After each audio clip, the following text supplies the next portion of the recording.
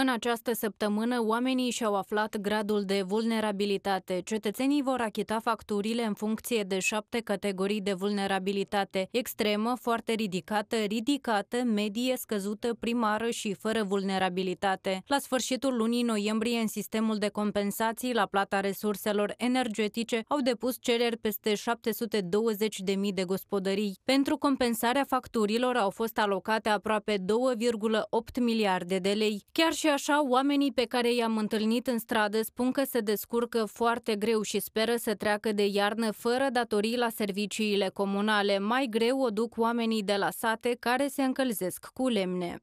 Încă nu venim, nu venit, nu știm încă ce este. Au depus soțul, da, da. Noi suntem pensionieri, eu știu cum a fi. După cât noi cheltuim, noi ne încălzăm cu lemne. Pentru lumină e greu, lumina merge mai mult, da. Am încercat când a fost frig să punem o leacă încălzitorul, nu, am plătit 808 lei, nu, nu a fost, e greu. Не знаю, будем ждать. Будем ждать, что будет. Надеемся на хорошее. Чтобы газ уменьшили немножко газ, очень дорого. Мы сами из Гагаузии, нам как бы говорят, что по 10 лет, но пока нету ничего, только обещают. În acest an, familiile care au drept principala sursă de încălzire lemnele sau cărbunii vor primi o plată monetară lunară de 800 de lei, cu 100 mai mult față de anul trecut. Oamenii spun că e prea puțin. Da, am depus, clar că am depus. Au spus că 800 de lei, nu știu, e drept ori, nu? A să vedem dacă nu ne amăgi. Mă gândesc ca să trec, lemne am cumpărat, cărbune am cumpărat. Живем в селе, надеюсь, что будет хотя бы на энергию какая-то скидочка. Вот. Ну, хотя бы этого будет достаточно. Плюс дрова там что-то. Я думаю, это очень малая сумма по сравнению с, с тем, какие цены сейчас. Am depus, dar nu-mi cunosc încă categoria, că n-am controlat să văd. Doar cu lemne, da, la casă pământ suntem și ne încălzim doar cu lemne. Ați depus cerere pentru electricitate? Pentru electricitate, da, și pentru lemne. Pentru lemne au promis 800 de lei. Cum se pare această sumă? E suficientă? Nu, și vorbiți. Dacă nu suntem noi să plecăm în străinătate cu pătrânii foarte rău. Într-o iarnă de asta îți trebuie undeva 4 cuburi de lemn. Închipuiți-vă și el e 1000 de lei. E prea puțin, spun oamenii cu disperare. Cu două pensii să trăim, doi moșnești. Trăiești? 800 de lei la cât ajungi? La jumătate de scladometru, dar jumătate de scladometru nici jumătate de lună nu ajunge. Cum o să faceți față iernii? Остаем tot подряд și найдем. Это не сумма. Это смешно, просто издевательство. Выживаем как можем. Как можем. Бывает, что даже не топимся, чуть-чуть днем потопим и ночью ложимся под одеяло одетыми. Иногда беру батлашечку теплую, между ножек ставлю и греюсь и так. Am întâlnit și cetățeni care nu așteaptă ajutor de la stat. Nu, nu am depus-o fiindcă eu fac servici și nu cred că mi se cuvine. Dacă știi, poți singur ca să te hrănești, să te... atunci nu mai apelezi la că statul e sărac și nu are de unde. În sezonul rece 2022-2023, aproximativ 895.000 de gospodării au beneficiat de compensații la factură. Cetățenii vor primi în acest sezon rece un nou ajutor social. Cei născuți până în anul 1945 și care s-au pensionat înainte de 1999, iar acum ridică o pensie mai mică de 3.000 de lei, vor primi o plată unică de 3.000 de lei. De un ajutor financiar vor beneficia și alte categorii dezavantajate. Valoarea totală a programului este de 226 de milioane de lei, bani oferiți de partenerii externi de dezvoltare. Vom oferi o plată unică de 3.000 de lei pentru 56.236 de pensionari care s-au născut înainte de 1945 și s-au pensionat înainte de 1999 și, atenție, au o pensie mai mică de 3.000 de lei. Ministrul Alexei Buzu a explicat că anume această categorie de pensionari va beneficia de ajutor deoarece acești oameni s-au pensionat în perioada de tranziție. Modificarea regulilor de calcul al pensiei de-a lungul anilor și lipsa datelor istorice privind veniturile salariale au făcut ca pensiile lor să fie mult prea mici, chiar dacă ei au muncit toată viața, a punctat ministrul. De ajutor unic vor beneficia și alte persoane. A doua măsură se referă la o plată unică de 5.000 de lei pentru 3.019 familii care au la îngrijire sau la, în supraveghere copii cu dizabilități severe. A treia măsură se referă la uh, o plată unică de 5.000 de lei pentru 7.195 de familii cu persoane cu dizabilități încadrate în serviciu de asistență personală. A patra măsură se referă la plata unică de 5.000 de lei pentru peste 1.200 de femei însărcinate sau care alăptează și au copii de la 0 la 13 luni. Urmează să fie acordat un ajutor unic și pentru angajații din sistemul de asistență socială. Este vorba de circa 9.700 de persoane, inclusiv asistenți parentali profesioniști. Realizarea proiectului nu ar fi fost posibilă fără sprijinul partenerilor externi de dezvoltare. We certainly value the opportunity to work with government to make a tangible impact on vulnerable families. With the support and the coordination of the UNFPA, UNHCR, UNICEF, IOM, and the WFP, we are really exceptionally proud to support this important initiative through cash assistance to vulnerable Moldovan households, to refugees. We're happy to announce uh, that following the recently celebrated International Day of Persons with Disabilities, the 3rd of December, that IOMs and other contributions will be supporting, as stated by the Minister, will be supporting vulnerable Moldovan households uh, with adults uh, and children with di disabilities.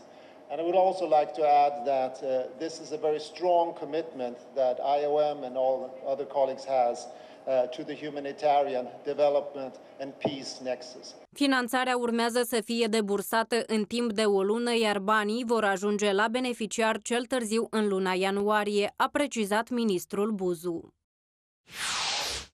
Toți consumatorii vor avea curent, căldură și gaze la prețuri stabile, asigură ministrul energiei Victor Parlikov. Potrivit acestuia, stocurile de gaze sunt suficiente pentru a asigura consumul până la sfârșitul lunii februarie. Avem uh, stocuri de gaze. Stocurile de gaze uh, sunt suficiente pentru a ne spunem, asigura până la sfârșitul lunii februarie cu certitudine.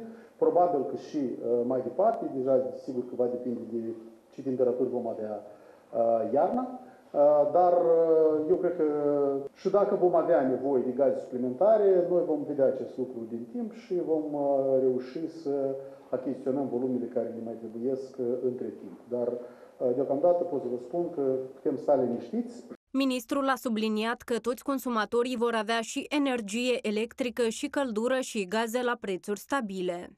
Avem contract termen lung cu centrala termoelectrică moldovenească din stânga Nistrului. Uh, asta, la fel, ne oferă o siguranță uh, cu privire la uh, volumele livrate și la prețuri stabile.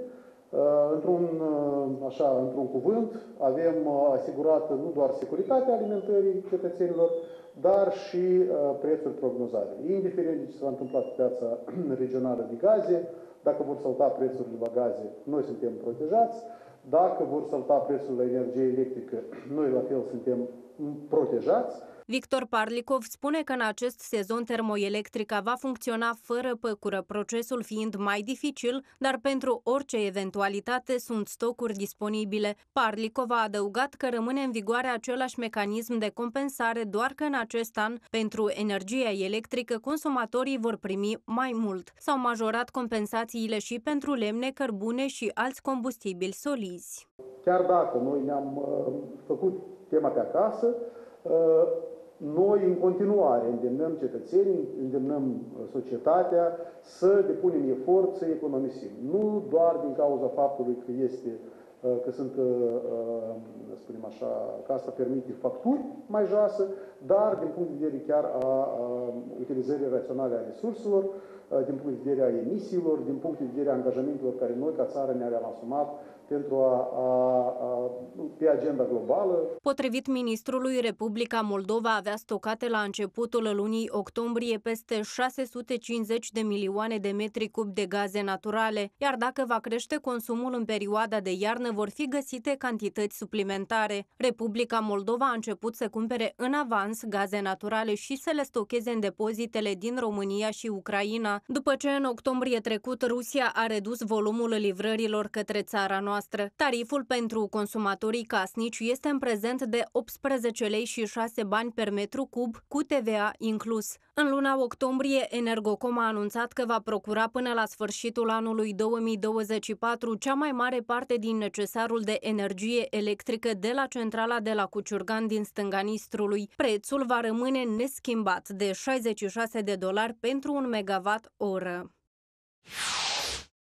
Se scumpesc serviciile medicale. Ministerul Sănătății a publicat un proiect de hotărâre privind tarifele pentru unele servicii plătite în instituțiile medicale de stat, precum și pentru serviciile acoperite din fondurile asigurării obligatorii de sănătate. Responsabilii spun că o mare parte din tarife nu a mai fost revizuită de peste 20 de ani. În nota explicativă a proiectului elaborat de Ministerul Sănătății se arată că prețurile pentru bunuri și servicii precum medicamente, consumabile, reactivi, căldură și gaze au fost majorate în mod repetat. Totodată, instituția declară că o altă cauză a scumpirilor este că salariul mediu al angajaților din instituțiile medico-sanitare a crescut de la 2573 de lei în 2011 la 11250 de lei în 2023. Salariul mediu al medicilor medicilor s-a majorat la 17.700 de lei. În același document se arată că în ultimii ani, în instituțiile medico-sanitare au fost achiziționate echipamente medicale de înaltă productivitate și au fost introduse metode avansate de diagnosticare și tratament. Acest fapt a determinat necesitatea includerii noilor tarife. Potrivit estimărilor Ministerului Sănătății pentru implementarea proiectului ar fi nevoie de 500 de mii de lei. Acesta va fi implementat în cadrul cadrul fondurilor de asigurări obligatorii de asistență medicală dacă serviciile vor fi prestate în baza unui contract cu Compania Națională de Asigurări în Medicină. Veniturile încasate de instituțiile medicale la tarife mai mari le vor permite instituțiilor medicale să-și recupereze investițiile și să acopere cheltuielile suportate, se mai arată în proiectul elaborat de Ministerul Sănătății.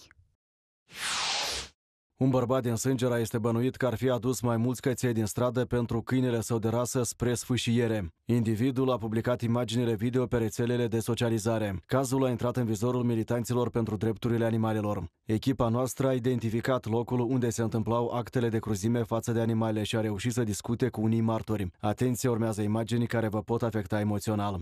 Ne aflăm în localitatea Sângera, unde, potrivit polițiștilor, a fost înregistrată sfâșierea inexplicabilă a animalelor. Oamenii spun că la început le-a părut stranie dispariția bruscă a câinilor și pisicilor care obișnuiau să hoinărească pe uliță. Apoi au apărut zvonuri precum că de vină este un localnic care are grijă de un alt câine. Sătenii însă nu au avut curajul să apeleze la poliție, fiindu-le frică. Bărbatul a creat un cont de TikTok unde publica imagini în care un dulău de rasa American Staffordshire Terrier sfâșie câinii comunitari.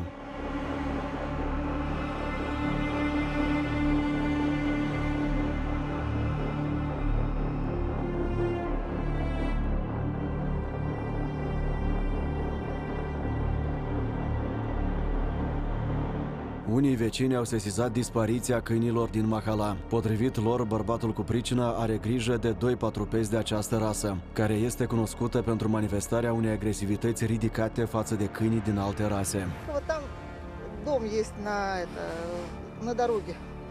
Вот. Она просто, видимо, отпустила ее погулять. Она такая хорошенькая, такая лаечка. Он ее приманил, видимо, и заманил в двор. Себе во двор? Да, да, да. И выпустил свою.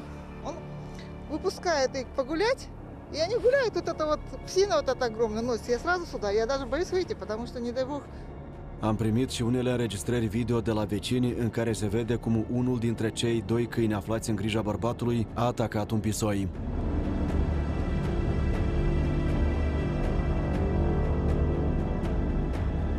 Despre astfel de cazuri în care au fost fâșiate și pisici vorbesc mai mulți vecini din Mahala. La dânș acolo ea, la dânș unii șed alături, ea are foarte mult că tot femeie și de, de treabă, tot motănaș, Vecina, știi, da? vecina, tot motănaș, știi, îi strânge și aveau 8, 9, până mai tică vreo 12 aveau acolo. Ei hrănește, ei tot, da, o că dispărut, dacă ni Elena ne-a spus că ei au dispărut niște motănași. După ce imaginile teribile au apărut pe internet, militanții pentru drepturile animalelor au depus o plângere la Inspectoratul de Poliție din Bălți, fiind siguri că bărbatul își are domiciliul acolo. După ce s-a aflat identitatea individului, cazul a fost transmis polițiștilor din Chișinău, bărbatul fiind domiciliat în orașul Sângera. Sub acest filmuleț au apărut foarte multe amenințări și dacă va fi, nu știu, cinuită vreo daună, el poate fi chiar omorât, să fim sinceri, pentru așa ceva. Nu de voluntari, nu. Sunt oameni care, intră și fără voluntariat, iubesc animaluțele. Și clar lucru că în cazul dat voluntarii vor răspunde. Într-o discuție cu oamenii legii, acesta a recunoscut că a publicat filmulețele pe TikTok, însă a spus că nu a făcut-o cu rea intenție. Merge vorba despre persoane care avea careva tangenți cu municipiul Băltă, a presupusele lor, dacă municipiul Băltă absolut nimic nici tangenți nu are. Pe urmă am presupus că are tangenți că de baște din Telenești. Telenești tot nimic nu are, dar fapt a avut loc în localitatea Sângera. Nu e așa cum spun voluntarii, acolo se primește că el avea grijă, așa de spus pe lui. Avea grijă de un câine de rasă care aparține verișorului lui. În situația respectivă i s-a întâmplat, nu că el o impus asta să facă așa s-a întâmplat, pur și simplu, din spus pe lui. În prezent, dosarul se află la Inspectoratul de Poliție Botanica. Polițiștii de acolo spun că dosarul urmează să fie repartizat unui angajat al subdiviziunii pentru a continua investigarea cazului. Deocamdată nu există vreo lege care să protejeze animalele de indivizii rău intenționați. În vigoare este doar codul penal care prevede că tratarea cu cruzime a animalelor se pedepsește cu închisoare de până la un an. Sancțiunile se aplică foarte rar. Parlamentul a respins anterior în două rânduri un proiect privind protecția animalelor. Acum un nou document a fost întocmit în conformitate cu practicile europene, spune membrul Comisiei Parlamentare pentru Mediu, Climă și Tranziție Verde, Iulia Dascălu. Cu referire la proiectul privind protecția animalelor, vreau să vă zic că a fost o muncă enormă. Am creat inițial un grup de lucru din șapte persoane, membri ai ministerilor, agențiilor nemijlocit responsabile pentru acest sector. Am lucrat șapte luni de zile, l-am înregistrat și la momentul de față este pe masa guvernului și așteptăm să fie avizul pozitiv pentru a fi votat în primă lectură. Proiectul elaborat de Comisia Parlamentară prevede elaborarea și menținerea unui registru al animalelor de companie prin intermediul unui sistem, realizarea unui program național privind animalele fără stăpân, coordonarea cu autoritățile publice pe acest segment, dar și elaborarea anumitor cerințe pentru întreținerea și îngrijirea animalelor. Proiecte au mai fost în Parlament, deci este a treia tentativă, dar nu știu de ce nu au fost votat votat această lege, probabil nu era interesul sau chiar nu pot să zic. Și atunci inițiativa, imediat ce am venit noi la guvernare, a venit din partea societății civile. Potrivit Iuliei Dascălu, proiectul de lege a fost întocmit în conformitate cu practicile europene. Un document bine studiat a fost și Convenția Europeană privind protecția animalelor. Responsabilitatea guvernului, de exemplu, cruzime și tratamentul față de animale, responsabilitatea autorității publice locale. Iată aceste capitole, cumva noi în 90% ne-am ghidat după legile care există în țările europene. Reprezentanții societății civile consideră că o soluție optimă pentru protecția animalelor ar fi o campanie națională de sterilizare, dar și o campanie de sensibilizare a elevilor. Aziluri, pot să vă spun că aziluri pot să facem noi încă 100, dar dacă n-ar să fie un program național, național, o să fie un program național de sterilizare, adică nu numai în municipiul Chișinău, dar în toată Republica, asta e una. A doua, numai decât, numai decât ar trebui să inclus în școală, în școală, școli programul de sensibilizare, de sensibilizare, adică raportul ăsta dintre om și animal e foarte mare. Valentina Dudnic susține că cei care manifestă un comportament agresiv față de animale trebuie pedepsiți cu toată asprimea. Conform legii. Cât am făcut noi interpelări la poliție, la procuratură, absolut niciunul nu a fost dus până la urmă, așa că, într-adevăr, persoana să fie pedepsită în mod corespunzător. Adică, știți, pur și simplu să dea o mostrare, ori îndiopște să nu-l caute, ori spui că cazul nu s-a adeverit, asta e nonsens. Poliția ar trebui să obțină prin lege drepturi mai extinse de intervenție în cazurile când anumiți cetățeni își bat joc de animale, consideră activiștii. Noi considerăm că așa oamenii trebuie să răspundă pentru chestiile, chestiile care fac, deoarece nu, nu răspund și se întâmplă așa cazuri foarte mult. Oamenii ăștia garant dau la 100% că nici nu cunosc că există o lege care apără animale. Asta e 100%. Despre asta cred că trebuie de vorbit mai mult. Proiectul de lege cu privire la protecția animalelor inițiat de Comisia Parlamentară pentru Mediu, Climă și Tranziție Verde urmează să ajungă la guvern. Potrivit codului penal, tratarea cu cruzime sau torturarea animalelor care a cauzat mutilarea ori moartea acestora se pedepsește cu o amendă de până la 37.500 de lei sau cu închisoare de până la un an dacă aceste fapte au fost săvârșite în public, în prezența minorilor, de o persoană responsabilă de îngrijirea, protecția și bunăstarea animalelor sau din motive sadice, persoana riscă o amendă de până la 67.500 de lei sau închisoare de până la 3 ani. Fiecare al doilea adolescent din Republica Moldova este analfabet funcțional, adică el nu înțelege ce citește și nu poate rezolva probleme complicate la matematică. Asta arată testul programului pentru evaluare internațională a elevilor PISA 2022. Verificarea s-a făcut în 81 de țări, iar Republica Moldova se află pe locul 45. Programa școlară este mult prea teoretizată, elevii învață, dar nu și înțeleg materia, spun experții. Expertul în educație Anatol Gremalski spune că rezultatele Republicii Moldova nu au suportat mari modificări în comparație cu datele precedente. Tot timpul poziția noastră practic nu s-a schimbat. Am fost în partea de jos a clasamentului, atât în clasamentul general, cât și în clasamentul Europa de Sud-Est. Principala cauză în stagnarea performanțelor elevilor este programa școlară, care este mult prea teoretizată, consideră expertul. Curicula noastră este axată mai mult pe învățarea, asimilarea cunoștințelor și mai puțin pe aspectele de aplicare a acestor cunoștințe. În popor am putea folosi termenul este prea teoretizată. Dacă o să vorbiți cu o persoană, ea va demonstra teoremele în cazul matematicii, dar îi va fi mai greu să aplice aceste teoreme pentru soluționarea unor probleme cotidiene. Profesorii noștri sunt prea generoși la note, afirmă Anatol Gremalski. Fundația Soros a finanțat un studiu conform căruia cam jumătate din elevii noștri nu ar trebui să susțină examenul de absolvire a gimnaziului. Ministrul Educației și Cercetării Dan Perciun a estimat că în performanța unui elev dintr-o școală mică există o întârziere întârziere de 2,5 ani, argumentând și în felul acesta politica actuală de optimizare a instituțiilor de învățământ, prin care elevii vor fi încurajați să meargă la școli raionale mai mari. Mai exact, Ministerul își propune să creeze pentru început o rețea de 35 de școli model la nivel raional, câte una în fiecare raion din rândul școlilor cu peste 500 de elevi. Investițiile vor constitui până la 2 milioane de euro pentru fiecare instituție de învățământ. În prezent, responsabilii spun că au asigurat finanțarea finanțarea pentru primele 10 școli de acest fel, iar renovările vor porni începând de anul viitor. La fel, elevii care vor circula vor beneficia de transport și prânz gratuit. Mai mult, statul va oferi o alocație lunară timp de 2 ani părinților cu copii în cele mai mici 100 de școli pentru a migra voluntar spre alte școli din regiune.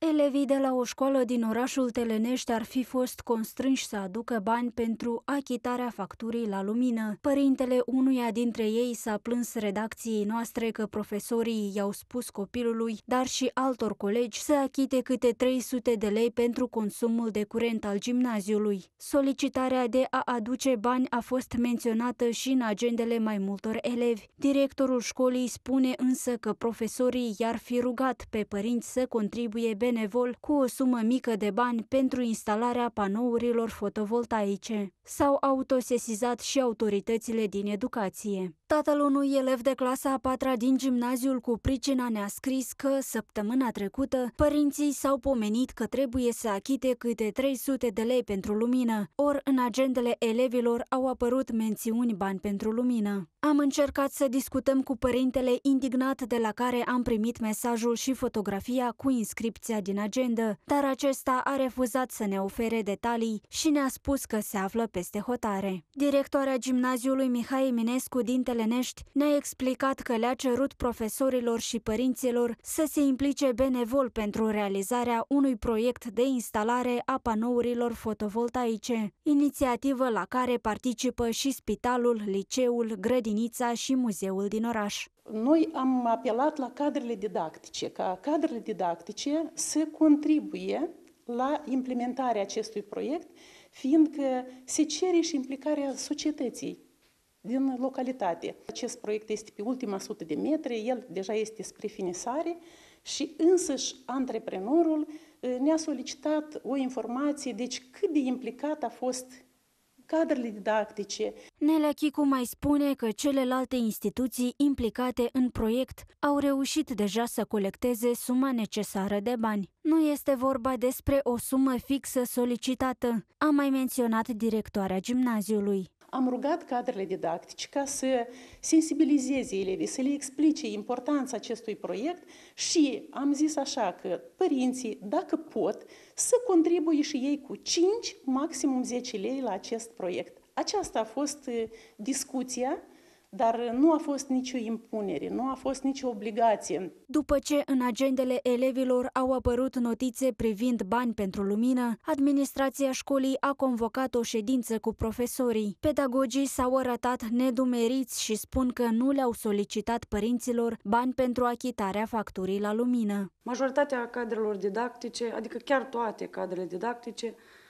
nu sunt de acord și suntem foarte dezamăgiți pentru că sunt niște falsuri. Părinții elevilor clasei mele tot sunt foarte ă, surprinși de această veste apărută. În urma acestui caz s-au autosesizat Ministerul Educației și Direcția Generală Educației Telenești, care a trimis o comisie la gimnaziul din Telenești. Reprezentanții direcției au verificat agendele tuturor elevilor din clasele a patra. Potrivit Mariei Vleju, specialist superior în cadrul Direcției Educație, chiar elevii și-au făcut mențiuni în agende privind necesitatea de a aduce bani. Au fost verificate agendele în toate cele patru clase și uh, din patru clase au fost uh, undeva vreo șapte-opt agende în care copiii au făcut aceste notițe pentru ei. Atunci când uh, învățătorii i-au, i-au anunțat, le-au vorbit despre proiect, e și normal să știe și elevii se realizează așa un proiect în, spre binele lor, pentru condiții mai bune pentru ei.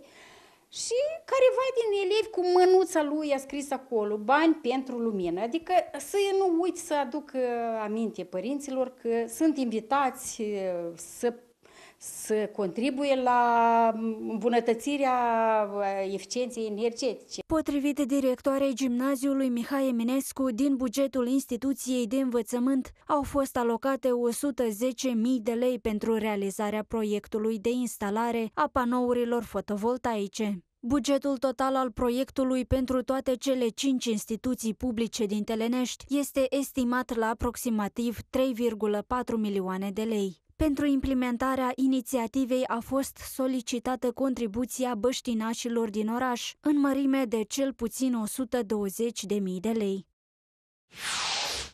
Elevii din Cărpineni vor avea parte de lecții mai interesante, totul datorită unei table interactive oferite de Asociația pentru susținerea inițiativelor comunitare și sportului. Donația este ca un premiu pentru reușita la un concurs la care a participat profesoara de matematică și informatică Veronica Stratu. Am observat prima tablă care ați dus-o în prima instituție. Deci acolo am zis că trebuie de făcut ceva pentru că de ce nu? Să reușim și noi să, să avem o tablă interactivă performantă în instituția noastră. Deci um, eseul l-am scris um, timp de o seară, respectiv mă bucur foarte mult că mi-a reușit și am uh, adus în instituția noastră totuși tabla interactivă. Elevii spun că noua tablă interactivă este o metodă performantă de însușire a materiei. Această tablă interactivă pentru școala noastră cred că este foarte importantă, ne va ajuta să învățăm, poate să înțelegem mai bine și ne va ține concentrați la lecție, cred. Cred că ne-ar ajuta mult să înțelegem lecțiile mai bine și ne-ar salva de să ne murdărim mâinile de cretă.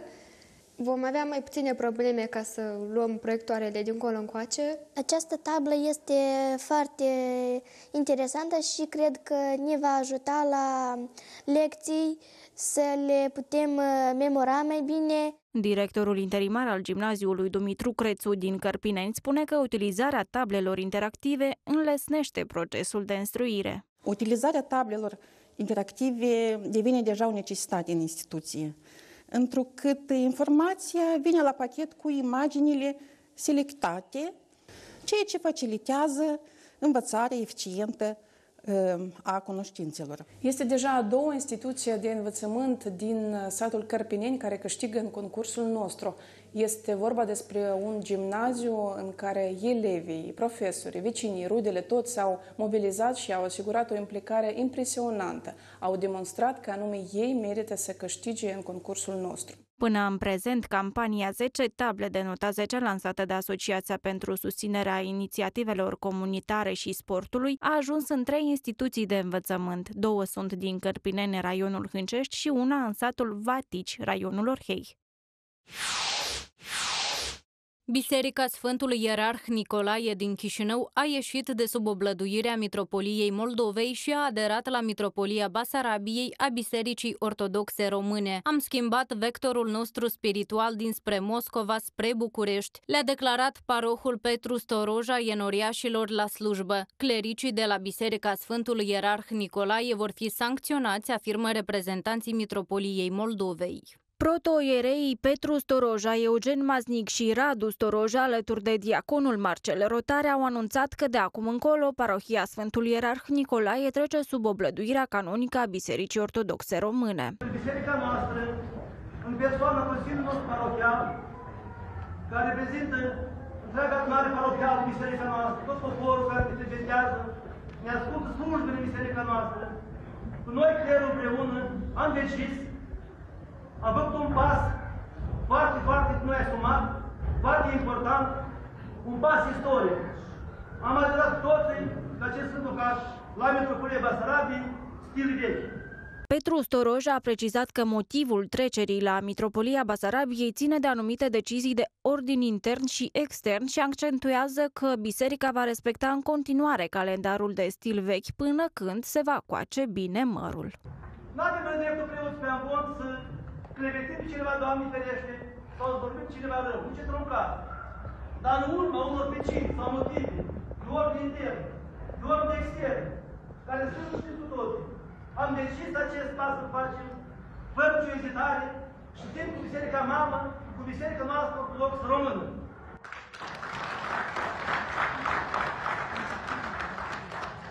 Fraților, tot rămâne cum a fost. În primul rând, din cei care sunt adică stilului vechi. Suntem mai departe pe stilele de continuare. Când va veni timpul, când va face bine mărul, vă hotărâți și facem mai departe. Dar cu o singură deosebire. Am schimbat vietul nostru spiritual, de la Moscova la București. Toți cei patru clerici ai Sfântului Ierarh Nicolae din Chișinău vor fi sancționați canonic, ne-a declarat vicarul Mitropoliei Moldovei Ioan Moșneguțu. Am luat act cu tristețe pentru această acțiune a Părintelui Petru, atâta timp cât a fost preot slujitor în cadrul Mitropoliei Moldovei, a fost uh, un cleric uh, râvnitor, străduitor, uh, am avut o relație bună, frățească. Acum, dacă a plecat, ne exprimăm profunda indignare și tristețea noastră. Parohul bisericii a fost sancționat canonic sau nu? Deocamdată nu a avut uh, nicio sancțiune pentru această uh, acțiune, însă, uh, potrivit rânduielilor canonice bisericești, evident, toți cei patru clerici vor fi supuși sancțiunilor.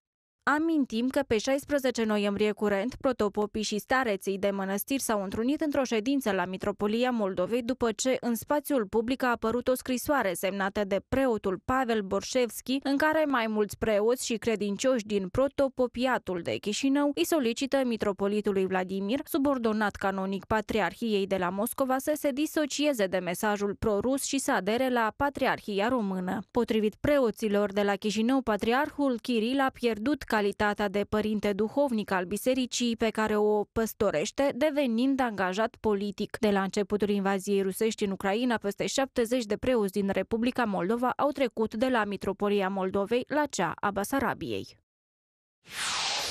Embargoul rusesc nu a făcut decât să agraveze criza prin care trec agricultorii din Republica Moldova. Miza Kremlinului este să pună cât mai multă presiune asupra fermierilor de aici, să dezbine și să crească supărarea oamenilor. Asta spune expertul comunității Watchdog Tatiana Cojocari în contextul restricțiilor impuse de Rusia la importurile de fructe și legume. Evident, um, Rusia manipulează și șantajează uh, Republica Moldova prin aceste măsuri, uh, iar ce urmărește, de fapt, acum este să instige populația, societatea împotriva guvernului actual, pentru că, din punctul meu de vedere, um, Rusia nu mai are prea multe instrumente um, economice, dat, dat fiind că noi am, ca țară am început să fim mai independenți din punct de vedere a, al gazului.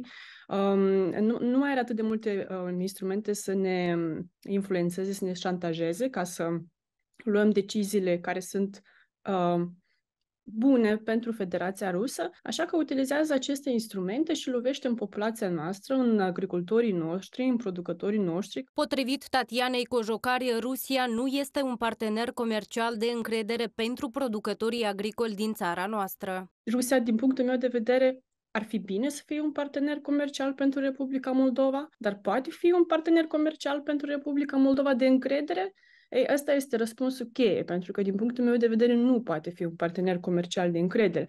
În momentul în care tu ai un acord și tu exporți într-o țară, tu depinzi de veniturile și oamenii tăi depind de veniturile în acea țară și tu nu poți peste noapte să spui că nu mai primești produsele. Prin impunerea acestor restricții la import, Rusia nu face decât să fortifice piața locală, dar și să mărească exporturile de produse moldovenești către Uniunea Europeană, crede expertul. Practic, Federația Rusă ne ajută pe noi ca stat să ne urmărim noi interesele, să ne ajutăm noi, populația, să-și îmbunătățească uh, produsele, da, tehn- tehnologia ca să exportăm pe piața din uh, Uniunea Europeană. Începând de luni 4 decembrie a intrat în vigoare interdicția Moscovei la importurile de fructe și legume din Republica Moldova. Rusia a menționat că în acest fel revine la restricțiile aplicate acum 2 ani. Rosel Hoznadzor a explicat că interdicțiile au fost introduse deoarece ar fi fost depistate mai multe obiecte de carantină în legumele și fructele moldovenești. Pe de altă parte, Agenția Națională pentru pentru Siguranța Alimentelor a atras atenția că a prezentat Roselhoznadzorului rapoartele de laborator care demonstrează lipsa dăunătorilor în loturile de fructe și legume moldovenești. Un tânăr de 21 de ani din orașul Teleneș a transformat pasiunea în afacere. Confecționează articole din piele naturală, iar asta îi aduce și plăcere și un venit stabil. Mihai Stavil a muncit 2 ani în Italia, iar apoi a decis că vrea să-și construiască un viitor aici, acasă. Zile întregi muncește în atelierul său amenajat în apartament, locul în care creează și se simte împlinit. Ideea a apărut spontan, spune Mihai. La început i-a fost greu pentru că nu avea suficiente resurse, dar cu sprijinul celor dragi a reușit să pună pe roate o mică afacere care începe a da roade. Fac articole din piele naturală, create manual, care le confecționez aici acasă, făcute vedeți, și încerc să fac ceva stil mai vechi, care nu prea sunt în Moldova. Primul meu exemplar, care am executat în Italia, nu e atât de reușit, poate, în mare parte, dar este puțin mai diferit de toate. Prietenii și familia mă susțin foarte mult, chiar și am un prieten foarte bun care mă ajută cu poze. Printre lucrările lui Mihai găsim și o geantă mai specială care își așteaptă proprietarul. Am și o geantă, un model de geantă care e foarte deosebită de toate celelalte. Este făcută din uh, blană de, de oaie și piele de crocodil. Acum, în scurt timp, vreau să mai fac un exemplar de geante care va conține elemente moldovenești. În viitor, tânărul ar vrea să deschidă un atelier la Chișinău pentru a-și extinde mica afacere. Scopul meu este să creez un brand autohton care va fi cunoscut atât la nivel național cât și internațional. Acum, începând cu anul 2024, vreau să deschid un atelier sau chiar și un magazin la Chișinău, după care posibil voi lua și câțiva lucrători. Pentru a confecționa un articol din piele, Mihai are nevoie de o zi întreagă. Până acum, tânărul a creat 120 de lucrări, iar unele dintre ele și-au găsit cumpărătorul în stânga Nistrului.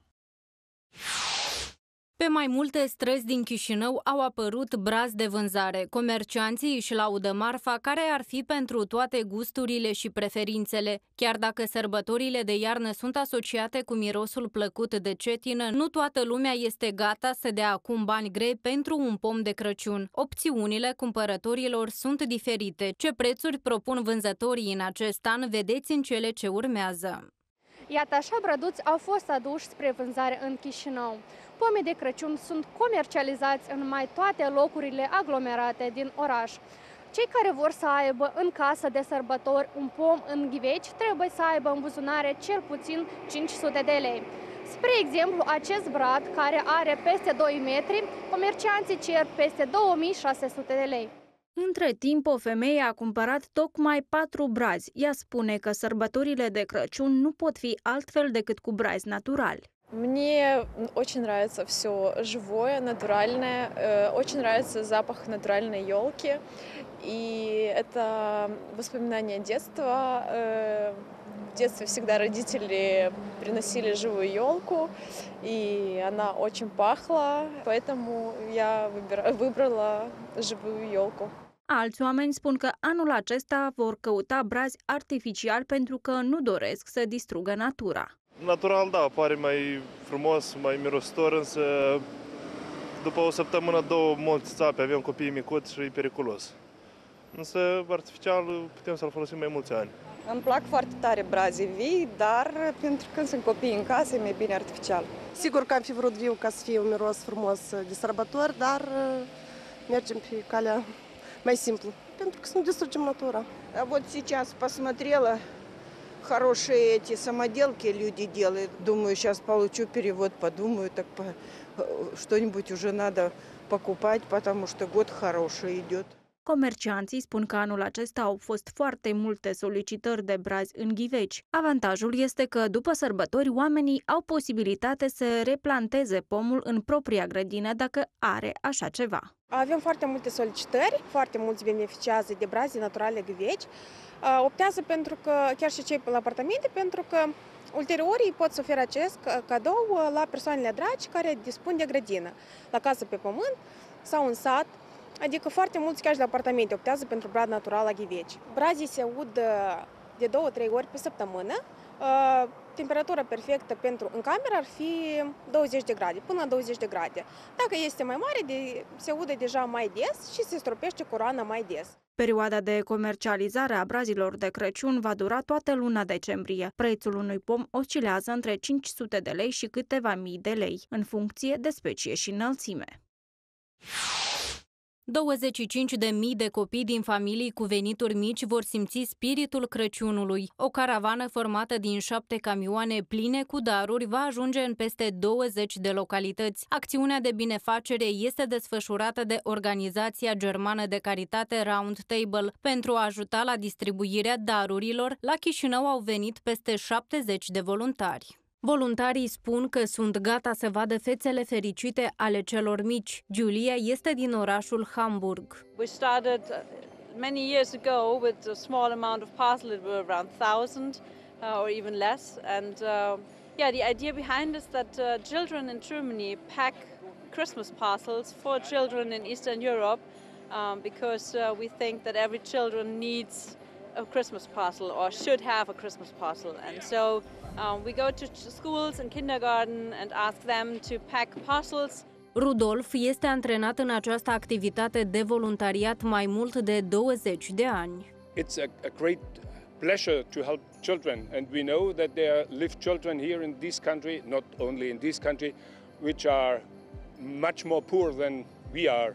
And that's why the idea was to bring some Christmas parcels to these children. Caravana va dura trei zile și va ajunge în peste 20 de localități. Anul ăsta, împreună cu ei, am ajuns, uh, au venit în Chișinău 25.000 de cadouri care vor fi împărțite în uh, peste 20 de raioane din toată Moldova. Luni, marți și miercuri ne vom opri în școli, în grădinițe, în case sociale și vom face uh, sărbătoarea de Crăciun mai plăcută celor, din, uh, celor mai mici. Anul acesta în Republica Moldova au venit șapte tiruri cu câte 4.000-5.000 de cadouri în total.